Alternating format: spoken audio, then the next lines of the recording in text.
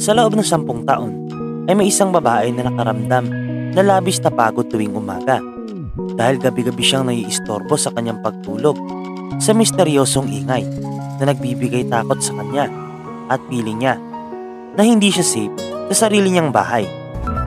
Pero bago tayo magpatuloy, kung bago ka pa lang sa ating channel, mag-subscribe ka na at click ang bell icon para ma-notify ka kung may bago akong upload. Si Ellie, 36 taong gulang, masayang naninirahan sa kanyang bahay na mag-isa. Subalit isang gabi, habang siya ay natutulog sa kanyang higaan, ay may biglang narinig siyang tunog na nagmula sa baba. Nagulat siya at agad niyang kinuha ang baseball bat na lagi niyang itinatago sa kanyang silid.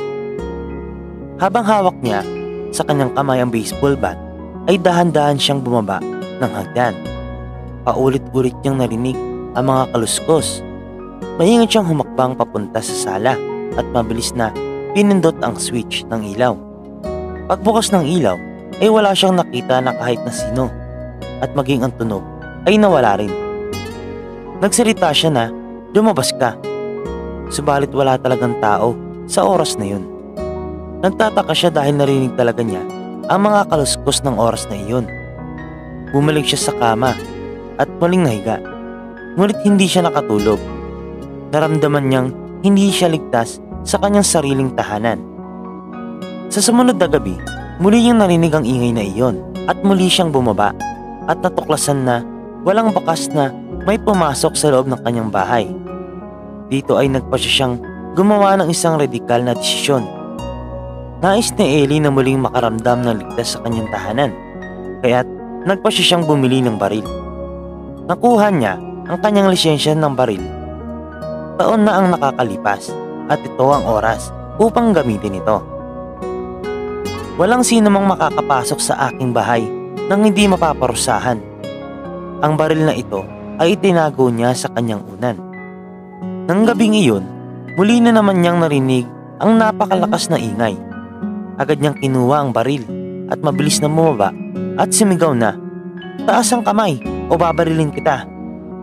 At sa muling pagkakataon ay wala na naman siyang nakita. Ngunit sa oras na ito ay may naiwan na bakas ang nanloob sa kanyang bahay. Ang buong saig ay punong-puno ng plastic packaging mula sa pagkain na naiwan ni Ellie sa lamesa. Isa-isa tinignan ni Ellie ang gulo sa sahig. Napapaisip siya kung saan dumadaan ang magnanakaw dahil dumadating naman siya sa tamang oras subalit tuwing bubuksan niya ang ilaw ay wala siyang nakikita. Muling bumalik si Ellie sa kama.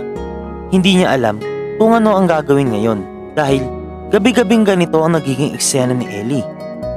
Hindi na siya makatulog na maayos dahil sa ingay ng kanyang naririnig at tuwing titignan niya ito ay wala naman siyang nakikita. Inireport na niya ito sa pulis ng ilang ulit na at pakilang ulit na din nag-imbestiga ang pulis subalit walang nakikita na kahit ano. Kaya naman, naging dahilan ito upang pag-isipan siya ng pulis na nasisiraan na ng ulo at hindi na pinapansin tuwing magre-report ito. Tumagal ang ganitong eksena ni Ellis ng sampung taon hanggang sa isang araw. Ang kanyang ilaw ay nagpapatay sindi kahit na wala namang itong problema. Kaya naman, tumawag siya ng isang maintenance at pinagtignan ito. Nang makarating na ang lalaki sa pintuan ni Ellie pagkalipas lamang ng 12 ng tanghali, binuksan niya ang pinto at halatang pagod ito dahil sa puyat. Pinapasok niya ang mekaniko na agad na tinignan ang mga posibleng dahilan ng pagbiblink ng ilaw. Limang minuto pa lamang siyang nagtatrabaho nang may madiskubre siyang kakaiba. Agad niyang tinawag si Ellie upang ipakita sa kanya ang kanyang natuklasan. Agad niyang itinuro ang isang bagay sa ilalim ng aparador. Meron pala ditong butas. Nagulat si Ellie nang makita niya ang butas at hindi lang ito basta-basta butas dahil isa din itong tunnel o lagusan na kayang dumaan na maliliit na bagay at may espasyo din ito sa loob. Agad siyang tumawag sa pest control company sa araw na iyon at pagdating ng mga teknisyan ng mga peste ay agad silang nag-imbestiga sa bagay na ito at ito ang kanilang natagpuan. Isang buong pamilya ng mga raccoon. Sa loob ng isang oras ay agad nilang nahuli ang mga rakun at agad ipinakita kay Ellie. Tinitigan ni Ellie ang mga rakun at sa tingin niya ang mga rakun ay natatakot. Naisip ni Ellie sa loob ng sampung taon, kayo lang pala ang inaakala kong nanloloob sa aking bahay. At napangiti si Ellie. Kinuha niya mga rakun at dinala sa natural habitat ng mga ito. At matapos ang insidenteng ito, ay mapayapa na nakakatulog na mahimbing si Ellie. Ikaw, kung ikaw ay makakaranas nito, ano kaya ang gagawin mo? Biruin mo sa loob ng sampung taon, ay ganito ang naging eksena mo sa loob ng iyong bahay. Ang hirap nun, di ba?